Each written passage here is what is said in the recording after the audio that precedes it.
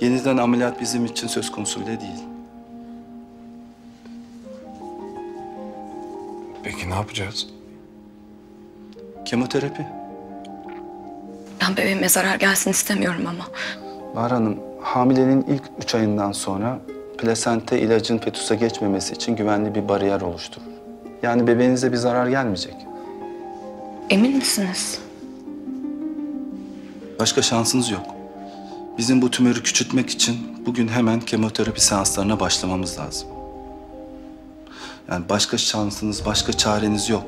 Eğer şimdi bugün hemen bu tedaviye başlamazsak çok üzülerek söylüyorum ki belki bebeğinizin doğumunu hiç göremeyebilirsiniz.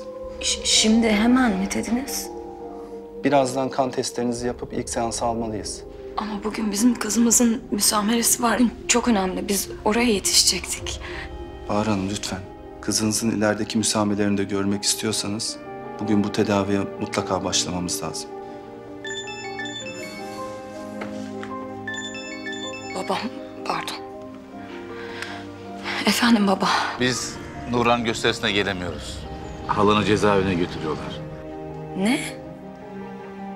Ha, baba keşke yanınızda olabilseydim ben de. Sen yeter ki kendini üzme.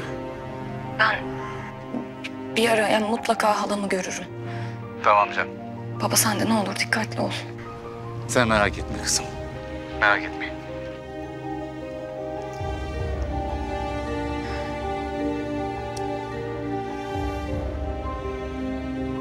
Bahar Hanım kararınızı verdiniz mi? Başka çarem yok ki. Kemoterapiye gireceğim.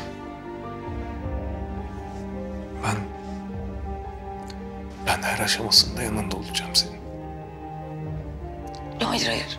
Ateş. Sen bugün Nurhan'ın yanında ol ne olur. Kızımızı yalnız bırakma.